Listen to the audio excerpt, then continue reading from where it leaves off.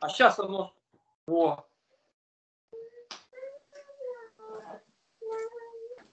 Приветствую, Алексей. Привет. Приятно мне с тобой познакомиться. Знает Алексей Журавка, это украинский политик, очень известный в Херсонской области, да и вообще в Украине. А, но я, если позволишь, сразу начну с двух таких вопросов, которые очень любят украинские СМИ или украинские некоторые. Кого пытал Журавка и когда Журавка возвращается в Украину? Слушай, я вообще-то от того, что там расписали вот, в украинских СМИ, что я кого-то пытал, вообще-то я в шоке. Чем? Безрукостью своей или безногостью? Я, я вот не могу понять. Второе. Ну, я откровенно, вот. честно, да, я ездил, я снимал э, арестованных украинцев, чтобы убедиться, обижают ли их и не, или не обижают. И показывал правду э, украинцам, что их просто угу. обманывают украинские СМИ, и та власть, которая ушла. Вот и все, чем я и, и делал. И видеодоказательства даже выклал в соцсети и так далее. То есть, то есть не было никаких случаев, в которых тебя обвиняют, правильно? Я так понимаю, правильно? Ну, конечно, не было. Это просто-напросто мораль полнейший. К сожалению, да. Мы знаем, что украинские СМИ любят заниматься, немало, вернее, так сказать, украинских СМИ такими вопросами как перекручивание фактов, подтасовка каких-то вот результатов, потому что я, честно говоря, а, посоветовался, звонил, скажем, у меня есть немало друзей в Херсонской области, как бы о тебе узнал. И в основном отзывы очень положительные. Даже те, кто, так скажем, не очень положительно относился, сейчас говорят, вот если бы Журавка вернулся, было бы хорошо. Поэтому следующий вопрос, когда ты собираешься вернуться? Слушай, я почему-то думаю, с тем, что происходит в Украине, я скоро вернусь. Но работы вот. будет вот так. Вычищать вот, эту я мерзость, почему и спрашиваю, негодяев. потому что Портнов вернулся, Нищенко обещает вернуться, да, там еще там какие-то люди, которые по объективным обстоятельствам, боя, боясь за свою жизнь, как бы находятся за границей. Ты сейчас тоже находишься за границей Украины, правильно? Ну, мы немного, мы немножко в разных категориях, будем говорить. Это раз. И все понимают причину, почему Портнов приехал. Я буду только обсуждать себя. Ну, да, Поэтому, да, как бы, да. самое страшное для сегодняшней власти это я. Я конкретно а, могу а, делать. Понятно, тем более прошлый опыт, прошлое уже, так скажем, а, практически действия Томская область прежде всего, правильно? Да. Да, вот и поэтому сколько ты примерно даешь времени, вот когда будет возможность ситуация, как сможешь заехать вот в твои программы, и будет ли такое ну, время, настанет? Слушай, если сердце э, будет работать, и Боженька даст здоровье, то это время не за горами. Я, я не хочу сроки там называть, но это время не за горами. Еще чуть-чуть, и мне придется туда заезжать. Вот так бы я назвал. Понял, понял. А слушай, как ты оцениваешь вот сейчас события, вот сегодня фактически а, произошли Чуком, да, всем известно информационное сопротивление, которое а, как скажем, разжигал национальную рознь, по сути, да, какие-то фейковые вбросы делал а, Тымчук, да, и сегодня каким-то странным мистическим образом он погиб.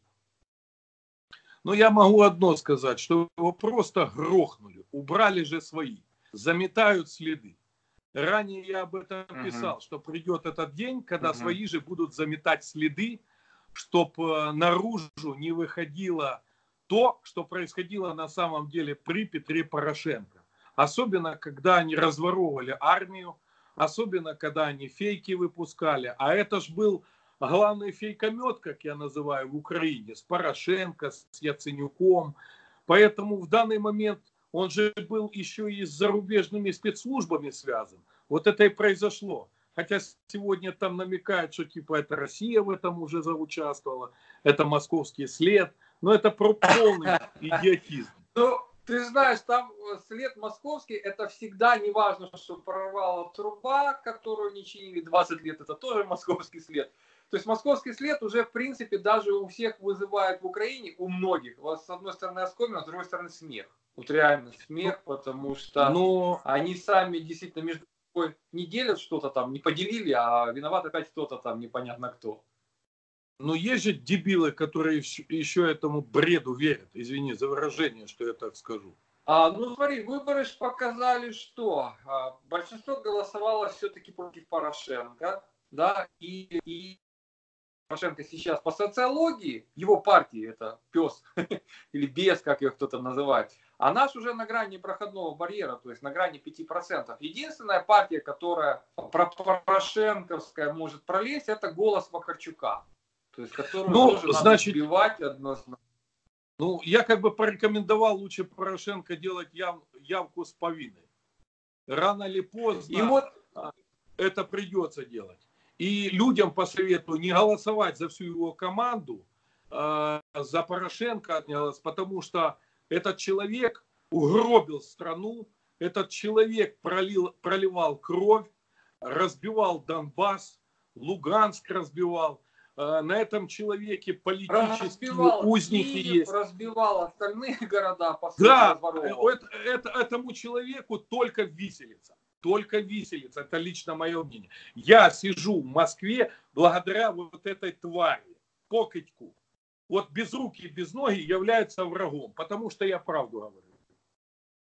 Ну, ты же знаешь, что, как обычно, да, им же хочется чтобы все их целовали в одно место, но уже их не время прошло, это мое мнение. Единственное, вот как ты думаешь, почему его до сих пор не арестовали? Ведь вроде там возбуждаются уголовные дела, еще что-то происходит. Почему он до сих пор на свободе? Ну, я тебе хочу сказать, что он на свободе по одной всего лишь причине. Это американцы за ним, спецслужбы за ним. И американцы сегодня Украину не отпустят. Они будут разжигать ненависть, войну и бить Донбасс. Будут еще гибнуть люди мирные. Потому что на сегодняшний день эта мразь Порошенко им выгоден.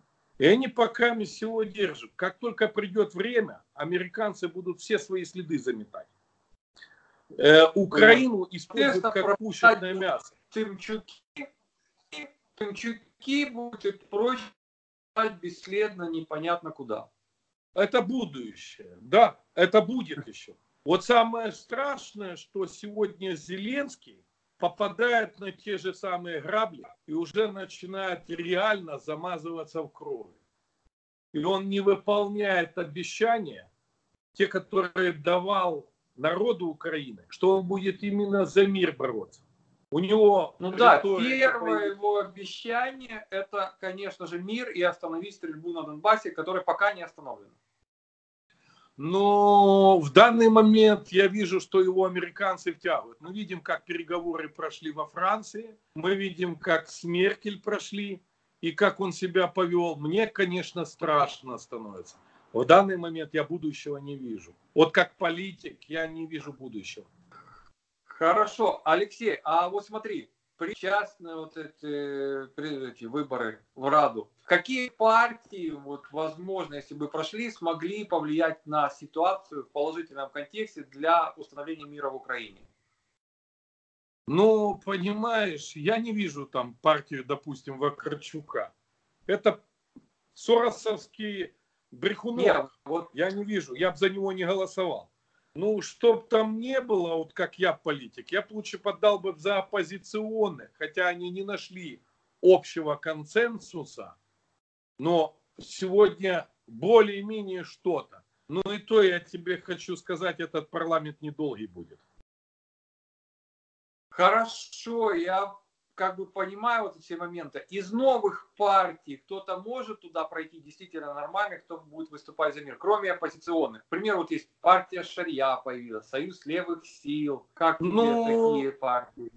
Ну, ты знаешь, э, Союз левых сил, э, Шари, он адекватный. Есть свои там у него вещи, но более-менее адекватные, да. Там э, мажоритарщиков очень много, которые адекватные идут, сами которые. А mm-hmm. есть просто отстой полнейший. Тут еще будет один конфликт, который связан, э, потому что нацики не везде будут давать проходить. Они пока управляются ЦРУ, СБУ управляются, mm-hmm. такая машинка работает. Поэтому тут как бы я не вижу сегодня хорошего. Вот если мое, вот в общем сказать, я не вижу хорошего в этом парламенте. Ничего будущего. Идет так, что появится этот парламент предчасно или осенью, но он будет недолгим, и потом придет другой парламент по факту уже, да?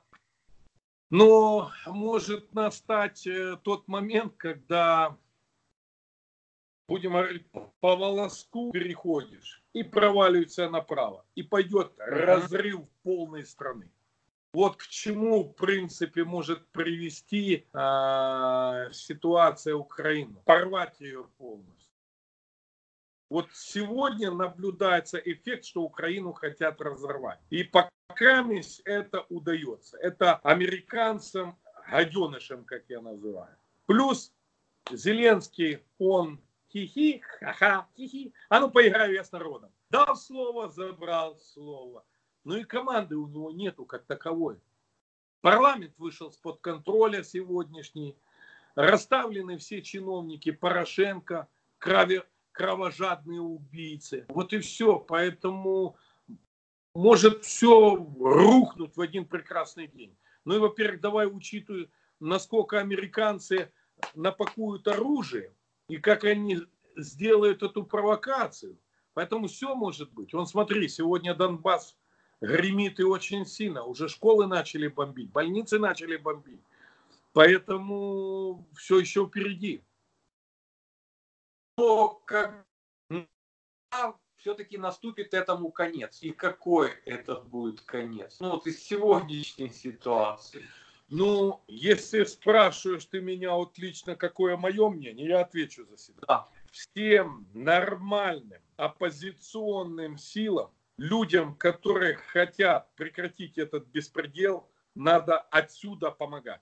Надо, чтобы сегодня родилась новая Украина, новые войска. Не надо э, убивать Украину, не надо с ней еще прощаться. Все новое должно быть, но без этих маргиналов. И когда мы, как славянский мир, начнем объединяться, здравые силы, и помогать там противодействию этому американскому и э, масонской ложи, тогда мы можем спасти Украину, но в новом формате. То есть это новый своего рода общественный договор внутри государства, правильно? В любом случае. Ну, понимаешь, все больное надо вырезать. Ага. Все больное надо вырезать. Ну, это Потому так, ну, что... я отличное мнение, соответственно, да, чтобы зрители понимали, да, что вот ты высказался, ты так считаешь. А как ты считаешь, Северный поток как повлияет, когда его запустят на, опять же, благосостояние Украины, которая и так на ладан дышит, как говорится? Значит, европейцы не упустят шанс, и они все равно доделают Северный поток. Германия, она прагматично просчитывают цифры. Все. И как угу. только запустится Северный поток, так сразу украинской трубе хана. Что-то будет прокачивать. Рассказывали, рассказывали, какая она ценная, оказывается, что она никому не нужна.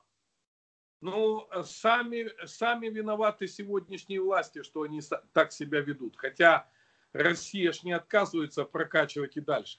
Ну да, это будет меньший объем. Но в этом же виноват кто? Яценюк, Порошенко, Гройсман и ежеподобные идиоты, которые просто не думают за людей. Они нанятые, они Слушай, ну, разрушители. Они думают просто сами за себя, они рассчитывают жить не в Украине. Ну, понимаешь, прежде, прежде всего, чем подумать самого за себя, надо же как-то, чтобы гарантии были, что их деньги сохранятся. Поэтому им ставят задачу и не выполняют. И они на крючке. Ну, просто так деньги не появляются. Они же какую-то работу выполняют. Вот они выполняют заказ уничтожения Украины. И все. Хорошо. Каким образом могут здоровые все-таки перехватить инициативу и отодвинуть уже навсегда, так скажем, этих товарищей? Ну, давай будем говорить так. Всего в эфире я не могу говорить, я честно. Но, но понятно. Но э, объективно тебе могу сказать, виду, без что, возможно, через выборы. Э, уже сегодня это будет нехорошо. Как бы ни пытались, но это отсрочка войны. Войну можно остановить и прекратить. Но э, в таком состоянии держать это будет постоянная война. Потому что общество в Украине маргилизируется. Общество ну, то есть уезжают, национализируется. Ну, Нацистским то есть многие уезжают, правильно? Конечно. Уезжают, остаются шариковые шлонгеры но уезжают именно люди, которые способны что-то делать, думать, анализировать. Ну я же говорю, остаются все больше шариковых швогеров, которые между собой в любом случае сцепятся в итоге. Конечно, конечно. Что приведет обратно к войне. Поэтому ее нужно заканчивать любой ценой, правильно сейчас? Конечно. Ну, я хочу сказать, лучше меньше крови пролить, чем, извини, пожалуйста, только можно кровь проливать по-разному, можно по-умному все делать. Механизмов много. Вот э, если мне сегодня повезло, и я был на месте Зеленского, поверь мне, я нашел бы способ, как повлиять на эту ситуацию, остаться жить и сохранить хотя бы в таком виде Украину, котором хотя бы она есть. Много сателлитов, которые готовы помочь и успокоить этот весь дом-дурдом. Я уже согласен. Сама Европа заинтересована, да. Конечно. Я уже согласен э, не вычищать, как говорят, а строить настоящие дурдомы, чтобы э, буйно помешанных лечить там. Понятно. Но это все-таки какой-то выход. Тюрьму построить хорошую, пожизненную, чтобы подстраивали Донбасс и все остальное. Вот, вот то все дебилье. Понимаешь, их можно ну, загнать да, в стойло. Да. Их можно загнать в стойло. Но это надо иметь силу воли, а не считать ну, бумагу пока американцы не дают этого сделать, правильно? Э, ну, ты знаешь, они этого и не дадут сделать. Э, американцам э, стоит задача ослабить Россию полностью, разбалансировать ее, разорвать чтобы сегодня ну, иметь а... ресурсы. А, это, да, но я думаю, что у них не получится, потому что а, тот же опыт Сирии, то есть Венесуэлы показывают, что американцы теряют свои позиции, потому что геополитическая ситуация изменилась. Понимаешь, я согласен, что Сирия, но нельзя сегодня не лечить ту рану, которая под боком болит. Нет, то, Надо что я уверен, лечить. что для Я понимаю. и Европы это важный вопрос, очень, не то что очень, очень важный, потому что ну, это... Давай будем, давай будем говорить. Для России, Беларуси это очень важный вопрос. А для Европы, не для всех. Возьмем ту же самую Польшу, Латвию и так далее. Ты посмотри, там памятники сносят. Ну, это, это условно Европа, потому что, во-первых, это новые члены, которые очень часто Польша вообще украинских гастарбайтеров, в принципе, экономика рванула вперед. Поэтому это такие страны, я имею в виду Германия, Франция, прежде всего, Венгрия, а, ну, Италия. это само собой. Ну и то Поэтому я кача- думаю, что... качаются. Да, что на геополитическом а, уровне все-таки Германия, Франция, они тяготеют к России. То есть это объективные факторы для того, чтобы выстроить систему безопасности и решений, которые им выгодны. Но Турция, дело в том, что дело в том, что самое главное э, на сегодняшний день это объединиться здесь всему российскому народу и не пойти на провокации, как Э, эти наваль, навальнюшки разные, либерасты разные и так далее. Сегодня обществу надо объединиться, посмотреть, что происходит в Украине, чтобы не допустить здесь.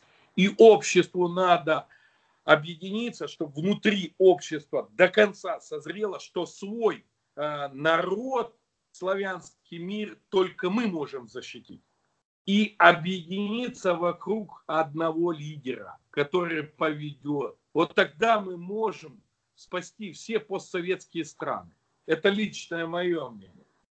От этого беспредела, который творится в Украине. Ну, как говорится, ну, как говорится, будем... Пос... А, Алексей, рад был пообщаться. Думаю, еще будем общаться по этим вопросам. Да? да. Спасибо большое. Как бы хотел обратиться через твой канал. Подписывайтесь на мои социальные сети. Журавка Алексей. Вы много интересного увидите. И сами смотрите. Спасибо у тебя есть такие эксклюзивные материалы, которые вот, ты получаешь из своих источников, которых нет нигде. Это тоже очень важно, потому что а, материалы а, дают понимание общей картины, которую обычно СМИ бывают, они не успевают даже за такими новостями. А у тебя видишь там оттуда, оттуда, с той же Херсонской области, как индикатора, что происходит и как, в принципе, гибнет Херсонская область, в моем понимании. Но дело в том, что я там, можно сказать, вырос, родился. Там мой детский дом, а, в котором я вырос. Там инвалиды живут. И я, болею всей душой своей малой родины. Но это для меня все. Я туда вложил душу, совесть свою. Ну, пахал как мог. Поэтому я ее не брошу никогда, даже если я далеко. Просто Понятно. Я в данный момент вот без рук и без ноги, если бы у меня сегодня руки, ноги были, я ж не скрываю, я пошел бы воевать. Против этих бандеров, которые Жукова снесли, которые убивают памятники наших настоящих героев, которые сегодня убивают историю, уничтожают, хрень всякую мне в голову пытаются убить. Я с этим не соглашусь, я привык так жить. У меня, меня воспитывали люди, которые имели совесть. Вот я за совесть борюсь, за нашу честь, за наших героев. И все. Ну, я думаю, что хорошо, чтобы все-таки мирно все разрешить. Правильно? Информационно. Ты знаешь, э, ты знаешь, я хочу, чтобы это мирно все произошло. Ну, как говорят, разжечь войну легко, а вот остановить ее трудно. А те, кто спички подносил, и те, кто кололи нас, можно сказать, раскалывали, разъединяли наши народы, они в Америке сидят, в Англии сидят, еще кое-где, ну, Порошенко, Гройсман, Тимошенко, о чем-то говорит Коломойский. Вот тебе и все. Это же о чем-то говорит. Ну, Алексей, давай, говорю, это еще, когда будем снимать, если мы еще отдельно по эти вопросы поговорим. А сейчас вот пока тогда, значит, подписывайтесь на канал Алексея, на его социальные сети и лично задавайте ему вопросы, потому что как бы через мой канал это не совсем, да, у меня информация есть по ну, тем вопросам, ну, да. владеет Алексей. Спасибо ну, тебе ну, большое. Все. До встречи. Победу мы принесем. До встречи.